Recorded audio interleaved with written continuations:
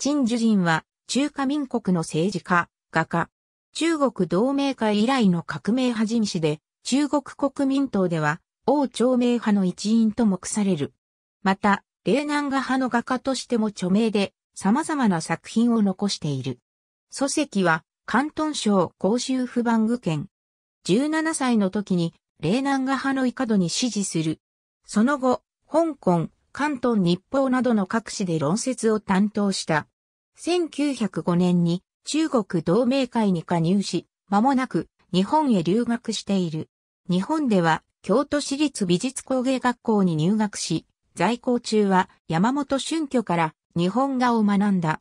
1912年、学業を修了して帰国し、関東悠久師範学校や関東高等学校で国画の教鞭をとっている。1913年、第二革命の失敗により、日本へ再度亡命し、立教大学文学科で学ぶ。卒業して文学史の学位を取得したほか、横浜華教学校で教鞭を取り、民国雑誌の編集にも参加した。1916年、カナダに渡り、後に中国国民党、ビクトリア支部総幹事となっている。1922年に帰国し、国民党総務部副部長となる。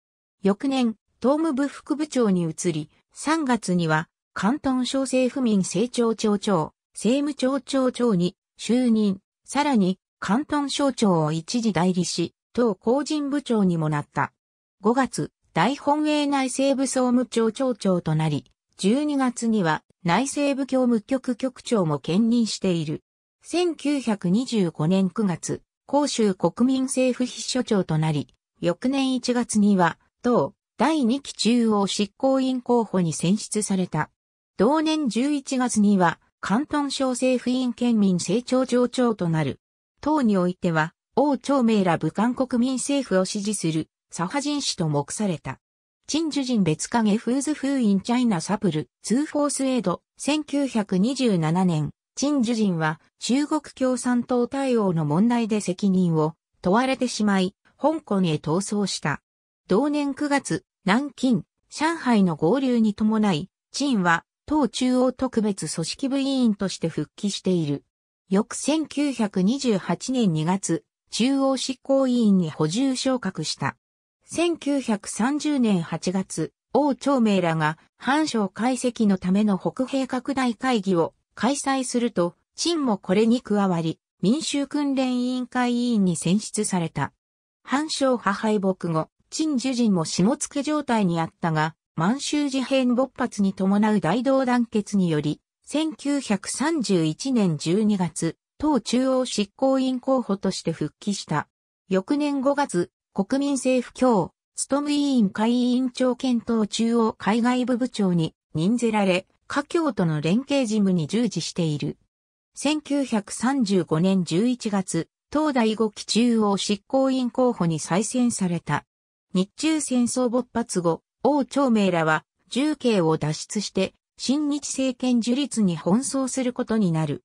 しかし陳樹人は小竹潮、菅野光、白雲亭らと同様にこれに随従せず、引き続き今日務委員会委員長、党中央海外部部長を務めて、小解析の光線体制整備に協力した。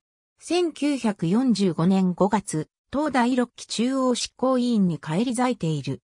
戦後は、政権国民大会代表、国府領園管理委員会委員、国民政府顧問、総統府国策顧問などを歴任した。1948年10月4日、公衆にて病没。去年66、絵画の代表作には、峰南春色があり、存命中にも国内各地で個展を開催した。著書には、漢、緑銀草、仙愛集、先人集、自然美容歌集などがある。ありがとうございます。